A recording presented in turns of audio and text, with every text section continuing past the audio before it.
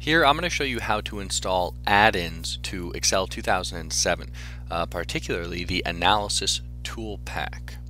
And that's going to give you things like Solver and allow you to um, do a regression analysis within Excel. So let's go ahead and begin to do this. It's actually pretty easy, but in Excel 2007 it can be confusing if you don't know where it is. So what you want to do is go to the Office button in the upper left hand corner of Excel, this guy right here. Then go down to Excel Options. And from here, you're going to want to go to the Add-ins tab on the left side menu.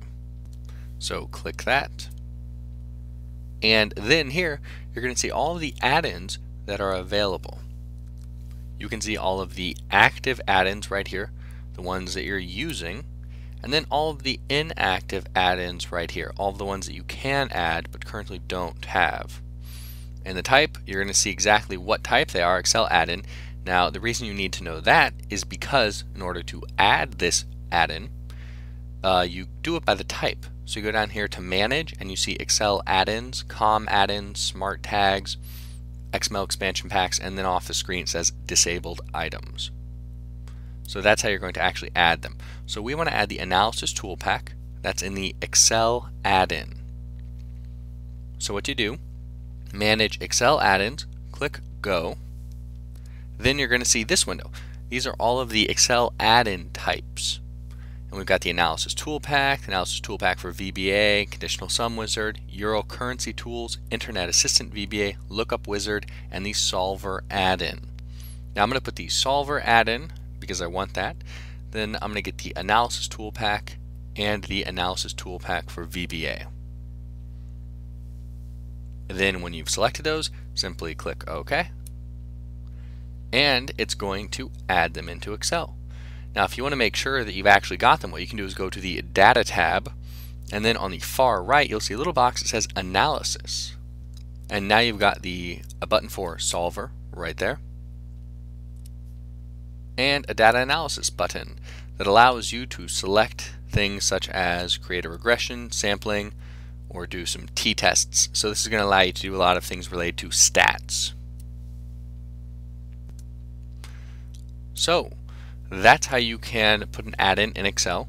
Now they don't all come in the same place, so if you're adding a different add-in than the analysis one or the data, um, analysis ToolPak, it may be on a different tab. What you're going to want to do is just go through all the tabs and look to the far right hand corner to see if it changed. And um, really that's what I would recommend. Now, I'll go through it real quick one more time, just to make sure you got the hang of it.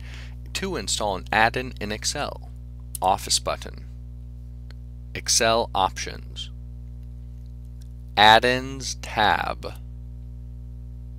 From here, you're going to see all the active applications, all the add-ins you currently have running in Excel. I have the Analysis ToolPak because we just added that, the one for VBA, and then the Solver.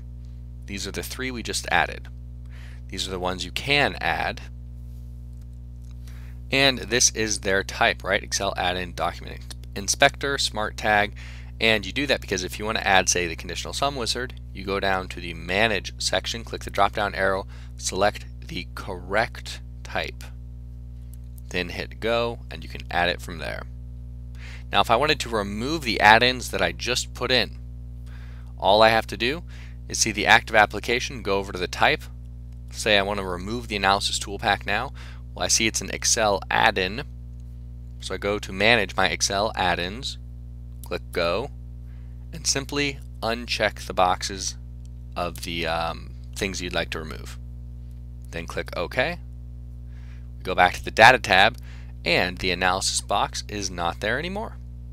So that's how you can add and remove add-ins into Excel 2007.